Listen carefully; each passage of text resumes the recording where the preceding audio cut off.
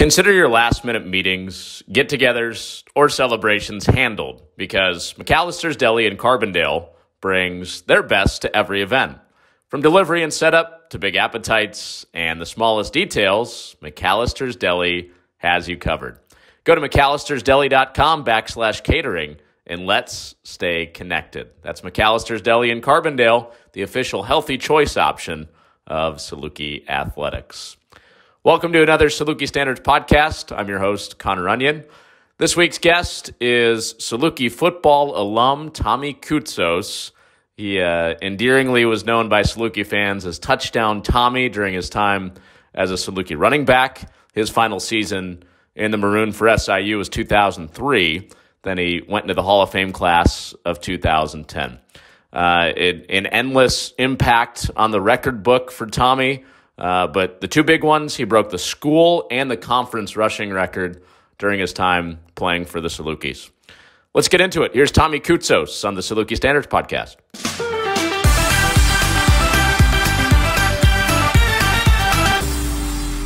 Good to talk to you. How you been? Good, good. Thanks for uh, having me on. It's always great to, to speak with someone of uh, from back from SIU and always tracking SIU. So thanks again for having me on you gave me a little update on on what you're up to now, but uh, give give listeners an update on where you're at, what you're doing work wise and family wise. Yeah, absolutely. Well, number one, I'm still a, a huge uh, Saluki fan. I obviously I'm 40 now, but still track all of SIU football, basketball, and all athletics. I currently live in the Chicagoland area. Um, in a town called Naperville. I lived downtown for about 10 years and I moved out. I have a four year old and a three year old. And uh, soon, uh, hopefully, he'll, Yanni, which is my youngest boy, will get his first scholarship offer from Coach Hill, and he can sign early, and we can get him into uh, SIU uniform quicker than uh, than most kids. So, you uh, you got him carrying the ball already. I got him carrying the ball. I got him with the SIU jersey. Uh, I got a couple stand-up dummies in the living room. So we're, we're starting him off slow with some calisthenics and some footwork and uh, he's only three, but I think by the time he's five, we'll be ready to pop on that chin strap and then get some contact drills going as well. Do the uh, you, you, got two, so you could you could run full Oklahoma drill in your house. Well, we can we can we can run the Oklahoma drill. I don't know if that's legal anymore in terms of concussion protocol, but my my four year old daughter is sort of more built like me, and my youngest son is sort of built like my wife. So got the physiques down uh, opposite, but we'll see what happens. At this point, she's just a cheerleader in the uh, in the living room for. So. That's that's amazing. Yeah, that's amazing. Well, uh, wanted to you know wanted to start kind of going through the arc of your your SIU career. Um, you know, being up there near Chicago and coming down to Carbondale. What uh, what initially lured you to to come down and, and be a Saluki? Well, it's crazy. I actually went to an all boys military academy up here, and um, back then the NCAA didn't count shooting guns, military recon, and some other of the core classes uh, uh, for for uh, uh admission. So I was a little late and delinquent on on getting accepted. So SIU had Coach Liggins at the time. He really stayed on me. It was really one of the only schools that stayed on me with some of my academic uh, hurdles. I had finally gotten through those hurdles late in the signing period and gotten some interest from other D1s, but was really loyal to Coach Liggins and the whole SIU staff. And I, I really fell in love with the campus. Didn't want to go anywhere close like Illinois State or Northern. It was, you know, sort of my mom and dad could jump in the car and sort of visit me at any time and didn't want that. So SIU provided an awesome, awesome landscape. The weather was beautiful. The people were great. Uh, I just really fell in love with the campus. That, that's how I landed at SIU. And, uh, and it was one of the greatest decisions of my life. Built enormous amount of friends there uh, still have them to this day. And uh, yeah, I just love going to Carbondale. Yeah, yeah. yeah. The the state of the football program obviously built into a bit of a powerhouse, uh, mm-hmm. you know, toward toward the back end of your career. But sure. you know, f- football wasn't exactly on a high when when you committed. So, uh, you know, what what did you see as far as the vision for how you could maybe change some things and and build the program up when you committed? Yeah, it was uh, when I got there as an 18 year old, and we had limited amount of scholarships. I don't know if a lot of viewers knew we, we didn't have the full allotment of scholarships, so we were sort of working with a half of a deck. Um, but bottom line is, I love football. I, I didn't care if I went to a team that was 10 and one or one and 10. I love being out there. A lot of a lot of guys don't like practicing football. I love practicing. I love being there. I never thought that was going to change that rapidly, and, and there was a lot of doubt when Jerry Kill came on board. But I mean, he's he's a Hall of Famer. He's turned down turned around so many programs. Our first year was really difficult. I think we were one in ten, uh, and a lot of people didn't think we were going to get to ten and one the next year. So it was a, it was a huge turnaround. I was really fortunate and blessed to be a part of it and to get a ring before I left. Um, but you know, I, I, still cherish those first two years where we were four and eight or three and nine. I don't even remember what we were. We didn't win a lot of games, but uh, it was still great going to McAndrew on a Saturday morning.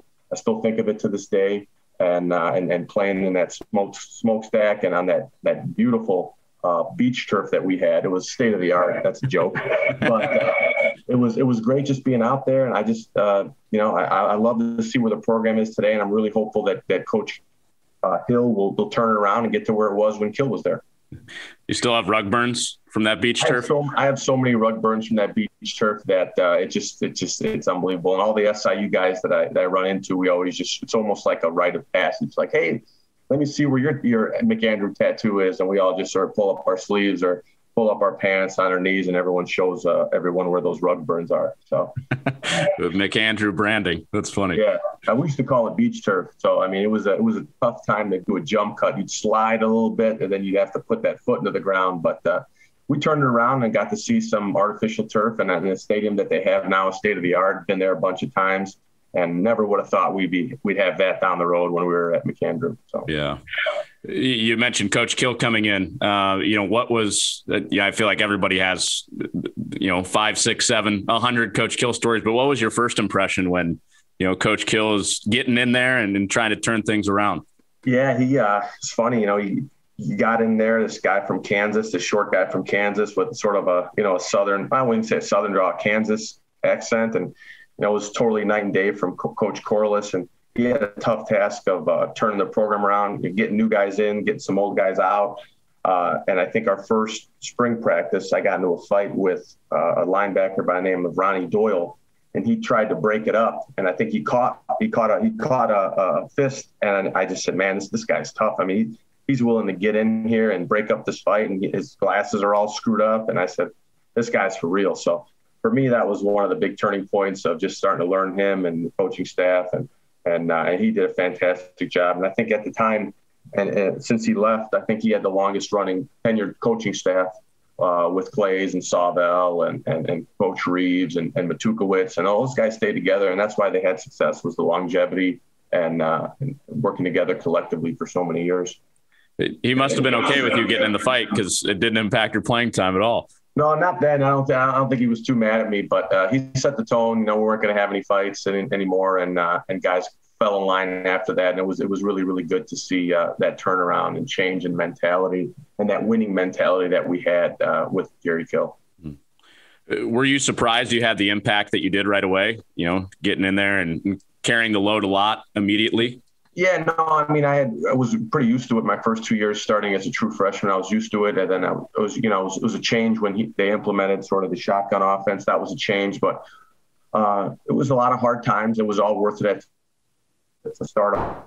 Um, you know, going four and eight, I think, and then having a couple down years, then going one and ten, and then finally you know, walking across the stage, graduating from SIU with the championship ring. I mean, that it, really was a, a, bow on it. It was a bow on it. So. Mm-hmm what was the the toughest part for you building uh, when when it wasn't uh, you know the the glamour of going to the playoffs and getting that ring? Yeah, you know, you build so many, you facilitate so many long lasting relationships with guys off the field, and, and then you start to see and align that maybe their off the field actions aren't aligning with, with the new coaching staff. So some of your friends unfortunately have to go. Uh, and I think Jerry's uh, Jerry's motto was "Apple and a roadmap," and I think a lot of people know that.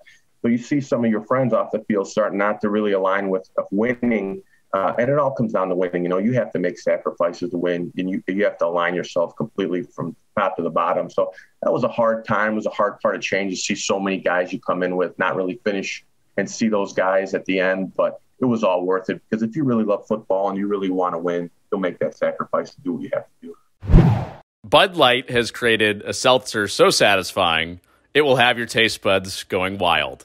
Bud Light Seltzer is the official seltzer of Saluki Athletics.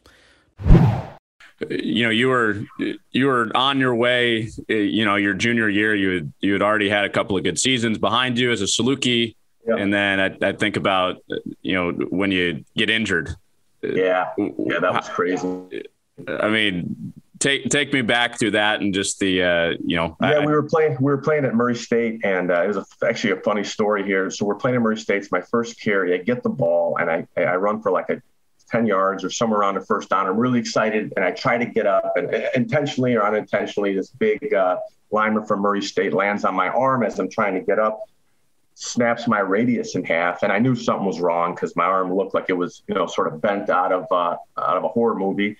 And uh, I remember the, the trainers, Ed, coming over and looking at it. They wrapped the towel on it. And I walked back to the sidelines and Jerry Kill asked me if I was going to be all right. And I looked at him and I said, Yeah, coach, I'll be in on the next series, which if viewers don't know, it means the next time the offense gets the ball. Uh, then I went to the sidelines. As soon as I got on the bench and sat down, I passed out. And then I didn't remember getting up until I was in the ambulance. So, so uh, it, it, was a, it was a hard time. You know, uh, I think we had a lot of potential for that year. I was really sad, but then we had a backup with Muhammad Abdulqaadir step up and and he and really he took off flying and sort of set the stage for the following year for both of us to be in the backfield. How hard was it to watch? It was really hard to watch. I was happy though, like the Western Illinois game where they had we had won uh, at the last play of the game, and that was phenomenal. It was just sad not to be a part of it, but I knew great things were in the works. I knew we could, a lot of guys were coming back, and all those players like Sambursky were just going to be a year older uh, and a year better. Mm-hmm. You, you mentioned uh, Muhammad coming in there. You know, you, you, go from you're you're the guy to all of a sudden you guys have two stars. What was the dynamic in, in your guys' relationship? I think it was pretty good. I mean, I was we we shared uh, series, we shared snaps. I think it was two different running styles, so it was it was really really hard for defenses to scheme for us. Uh, and I think in the beginning there was never any animosity, but just more of a competitive nature for guys that want to win. And it, I think that transcended into a great friendship uh, and a great partnership because we knew we could take this team to a whole other level. Mm-hmm. What uh, you know? What what about those those offensive linemen? What stood out to you about the about the offensive line that uh, you guys are running behind? Because obviously they they cleared the uh, cleared the way for both. Yeah, well, the, the, first couple years I played, uh, the offensive lines were great too, and then we sort of had a lag, at, uh, which is some transition, and then Jerry really recruited great guys up front that could really clear the way. So it was it was really night and day uh, from his first year to his third year or his second year with the guys that we had brought in. Uh, and then obviously with our strength and conditioning coach, Coach Klein, was a whole different format. So you saw a bunch of guys on the line, both sides of the line getting bigger, faster, and stronger. And that really transcended the results on the field. Yeah, sure. 2003. I mean, that's, you, you know, you come back, you, you guys break a 20 year playoff drought. Um, I mean, how rewarding after all the stuff we were just talking about, building the thing up, how rewarding was that season for you? Oh, it was phenomenal. It was great. I, I never thought we were going to get there. Uh, I never even thought we would smell the playoffs. So then just to get that, uh, just to get that championship and to get an opportunity to fly to Delaware, still salty that we had to fly somewhere. I still think a lot of the guys think we should have been in Carbondale. We might have had one a couple other games, but uh, you know, having an opportunity to get on a plane and go to and go to uh, Division One Double A playoffs format. We never, I never thought that was ever going to happen at SIU, and to finally make it happen, it was just like I said, it was just icing on the cake at that point. Did you guys realize what you were doing at the time? The the history that you were making? I think I think for me, I realized it later when you had succession of Arkee Whitlock and the Brandon Jacobs that were coming in, and then the following year, you know, they go up to Northern and they're beating Division One A teams, they're beating Indiana's, and you're saying, "Wow, I was part of a, a foundation, sort of a stepping stone to get these guys to where it was." I think that's where it all started for Jerry. Uh, so it was really, really rewarding to see that in the years to come after I left. So was it just business as usual then when when you were going through it? Yeah, pretty much. I mean, it was just, you know, keep your head down. And, and Jerry's motto was, you know, hard hat, lunch pail type of, you know, get up and, and go to work. And the cool thing about uh, what really helped me with, with sports was it was an avenue to just not think about your personal life or think about maybe things that were happening in school during the time. Just walk between those lines, enjoy yourself, play ball, and worry about everything later. And I think if you could take that approach and compartmentalize that, and players to this day, I think the successful ones do that. They block everything out for that two and a half or three hours or whatever it is. Focus on your craft, focus on what you love, because at the end of the day, it doesn't last forever. And you know, it's at some point it's going to it's to end and the music stops. I think that's what made us successful too that year. Mm-hmm. How do you think the community embraced that 2003 team? Oh, they loved it. I think it was awesome. We had lights for the first time. I mean, it was just fantastic. I mean, again, we were just at the ground level of what was happening. Um, so everyone that sort of sees that new stadium now and sees everything from Under Armour sponsorships, you know, we never had any of that stuff. We were sharing, you know, gray shimmels. We were sharing socks. We got holes in this, old shoes. So, uh, you know, we didn't get to really reap the rewards of it playing wise, but from a viewership, yeah, it's, it's phenomenal. When you would walk around campus, would people recognize you? Oh yeah, all the time. And we, I mean, at the time we had 25,000 plus the, plus the, uh, law school. I think we almost had 30,000 students on campus. So it was, it was a great, great time. And, uh, you know, our basketball team was, was just on the cusp with Bruce Weber. Uh, our next door neighbor, one of my neighbors was Jermaine Dearman and had great part, uh, friendships with Kent Williams. So, know, we were sort of getting going, but the basketball team was off and running, and they were starting their Sweet 16 run. So it was just a great time to be alive in Carbondale, to be honest. Mm-hmm. I mean, this this question gets asked to uh, you know athletes and coaches in your era a lot, I think. But but how much synergy did you feel like there was between basketball and your success? Softball was winning. You know, you, you had a lot of things working at the same time at SIU at that point. Yeah, I think it was just a great culmination of just positive energy and competitive nature, con- continuous competitive nature of a basketball teams, you know, really doing well. Football t- teams got to do well. Hey, the, the, girls softball team was was killing it with Carrie Blaylock, Blaylock, and everyone else was just sort of feeding off each other. So. Um, I think it was just really, really good for all the teams to start to turn around, and uh, it, it, we we fed off that. You know, it was it was competitive nature. No one wanted to lose. Yeah, some some pros obviously in that era too, and uh, it, it sounded like there was a decision for you to maybe make after your junior year uh, on you know whether you make that leap or not. Eventually, yeah. you don't. Yeah. Why Why didn't you? I get side. well. I get sidelined. I didn't because I, I think we knew we had a lot going back. I, and really going into my senior year, the year that I got uh, that I broke my radius, that, that year was really the probably the, my peak performance and physical nature that I ever had. So I thought it was I was really going to capitalize on a great year, um, and that's the reason why I came back. Um, and I no uh, no reservations about it. I mean, it was the right decision. Football is a contact sport. If you play long enough, you will get injured, and if you play my position long enough. Uh, and start four years of Division One school playing running back, you're going to get some bumps and bruises. So, yeah. Uh, how did your draft stock change by by coming back? Uh, I, I, think you know the, Jerry and the rest of the uh, guys in their office put out a um, sort of a, a this exploratory uh, NFL draft, and I think they came back to be a, a really late round or a high priority draft pick. So, uh, you know, I knew at the point I was sort of taking a risk, and I thought if I had come back and had a phenomenal year uh, my senior year, I would just improve that. Um, so that's that's really sort of the aspect that we went with, and uh, and it worked out. Yeah, minus breaking my arm. right. right. I mean, it, does that factor into to your thinking? With, you know, with the broken arm, like you know, yeah, maybe... there's no way I could have came. I could have left at that point. I was in my my arm was in a cast for almost three and a half months, and I really didn't have a lot of ability to run. Uh, it's tough to run when your arm's in a sling for three months. So I needed to come back. I needed to rehab. I needed to get my body in check, and I did that. Uh, and then I had an opportunity uh, when I got done playing, and I was selected in the Blue Gray All Star game, which at the time was an elite All Star game for college seniors. Uh, and I was also on the uh, waiting list to go to the another uh, bowl. But unfortunately, during that All Star game, I was like two days before the practice. It was in Mobile, Alabama, and that game used to be on on uh, national TV on Christmas Day. I put my foot in the ground after I caught a ball and twisted my knee in a really weird fashion, and then in a uh, tearing my MCL, PCL, and partial ACL tour, uh, tear, which really, really sidelined me after that. So, yeah. yeah. So, unfortunately, two really big injuries back to back years. And um, it was tough. It was very difficult to come back with. Uh, coming from SIU, small window really of opportunity from a smaller Division One school. So, you really got to get in that window when you're hot. Uh, and it was just difficult for me to get back uh, that window when I got injured two years in a row. Mm-hmm.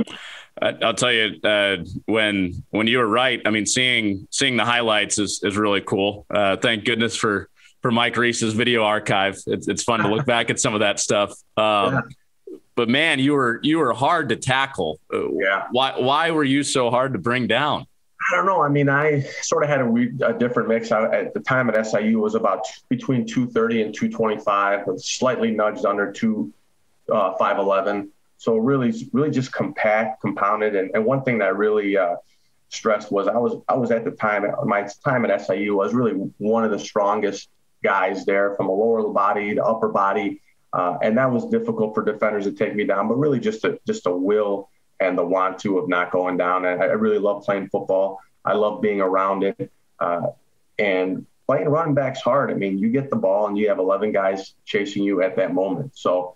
Um, playing at SIU in the early days and not having much success and getting hit in the backfield was normal. So for me, you know, when Jerry came, I didn't get hit until you know maybe past the line of scrimmage. It was it was like a kid in a candy store. So uh, really, just the mentality of not wanting to go down, loving the game, and and just really sucking up every moment of that time while you had it before it was taken away.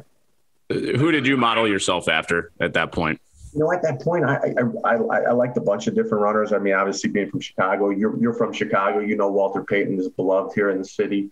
Um, he was one of my favorites. I got to play against his son in high school. Um, and uh, really just modeled my, you know, my, my running style after him. And if you watch any of those old 80s Bears highlights, I mean, that guy was a load to take down and he never went down on first contact. So I always tell myself, you know, once I got the ball, the yards after contact was going to be there, and it was going to take one guy to cut to bring me down. And if you look at highlights, I don't think I got tackled by one guy a lot of times. So.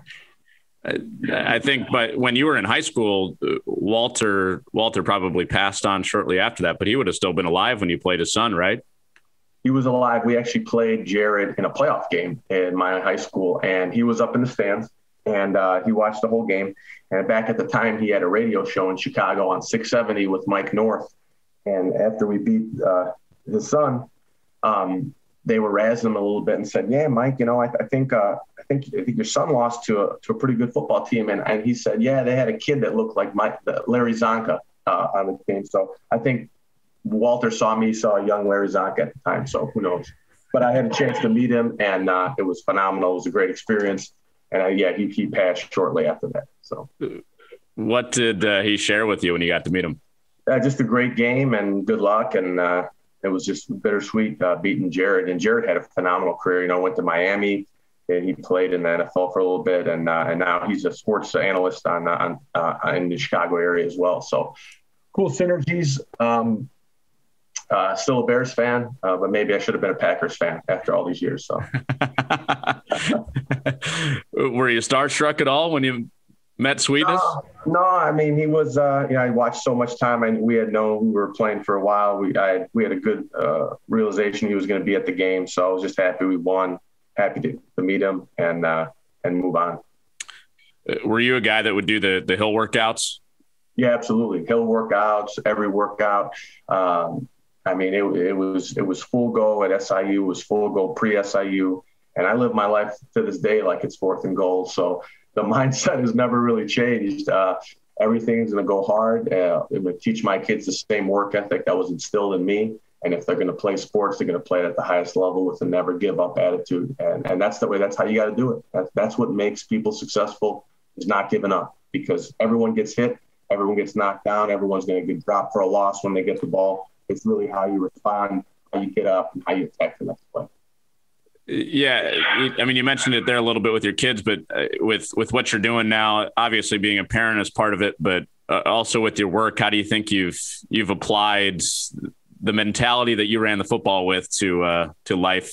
Yeah, life you know, I, I, before I got into this, I actually was a college football coach for a while. I gave my stab at it, and then when the uh, when the recession hit in 2008, it knocked me back a little bit. At the time, I had spent one year as a running back coach at Nicholls State, which was in the Southland, and I was an offensive running back coach at uh, a community college in Scottsdale. So I, I, I had tried before or post football career to, to coach, uh, and it was very difficult. But um, I think the biggest takeaway now is with my current job is just to instill the same dedication and work ethic and And I always reference my football days. You know, the, the cool thing about people that have faced adversity, whether it's sports, illness, anything else like is you have a baseline, you have a frame of reference.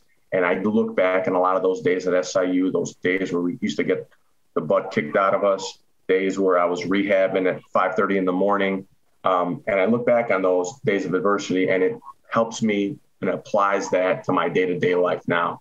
So that's what I'm thankful for at SIU, and I, I think that's what makes me a successful father, successful husband, and successful at my job is, is doing that every day now.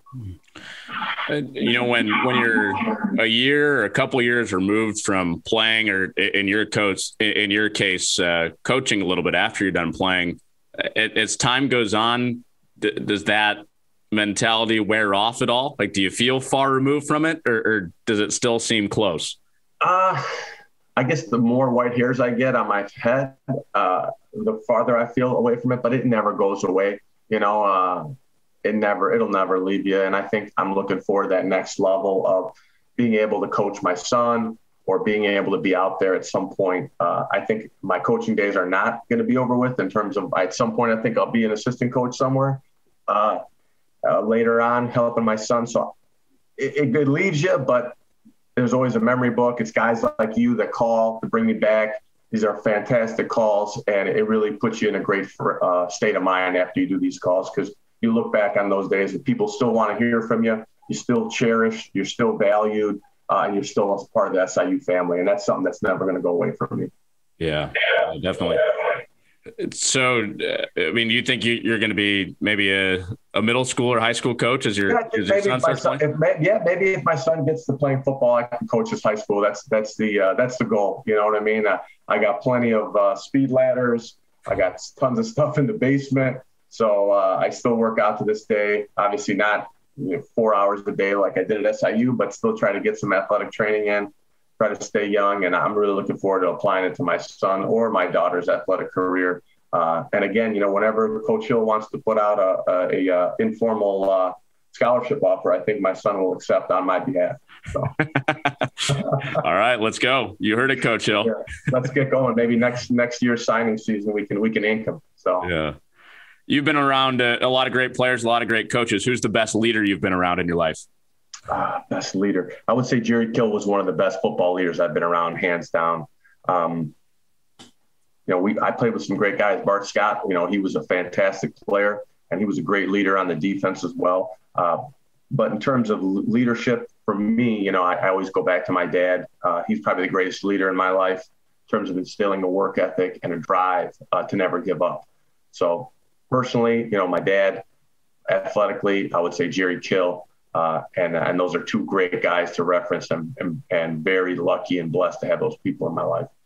You, you mentioned Bart Scott. Um, what's what's an example of uh, his his leadership that you he's saw? Big he's big time now. I mean, good luck trying to get him. Now he's on ESPN all the time, so I don't really get to talk to him. I've texted him every now and then, but he's he's he's, he's pretty big time you know, he was just a great leader. He, he was the type of guy that really showed by example, you know, and and you could put him anywhere on the field and he'd be successful. I mean, he'd lined up from safety to DN to linebacker. I think the only position he didn't play was cornerback, but I'm sure he would have been successful there. So there's people that are vocal, uh, that, that that lead with you know by example, and, and I think Bart Scott was one of those guys that really led by example.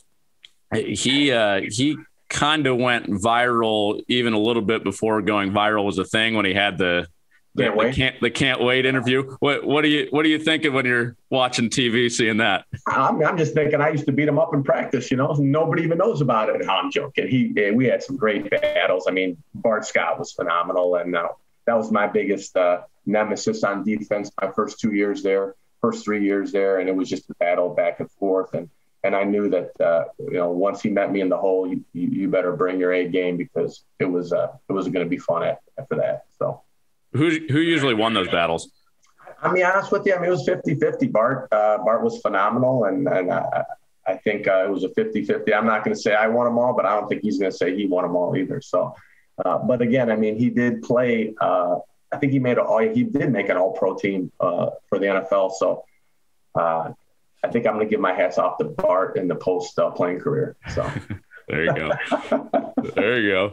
Yeah, he's phenomenal. He's a great guy. I, I, wish nothing but the best, and he's been he's been just as awesome off the field that he was on the field. So yeah. How many people still call you touchdown Tommy to your face? Everybody that uh, ever meets me that that was from SIU really refers to me as that. And my wife will say, "Who the heck is touchdown Tommy?" Because she didn't obviously didn't go. I met her in the city, and and uh, we get a quick laugh out of it. But just people from Carbondale sort of call me that uh, still, and uh, it's a cool name. And uh, I love going back and seeing uh, you know the pictures in the uh, Hall of Fame, and then the pictures outside of the stadium. And hopefully, my son can hear that one time, and he'll know all the stories were actually true and all the stories I tell him aren't just uh, fairy tales. So. When do you remember hearing that for the first time?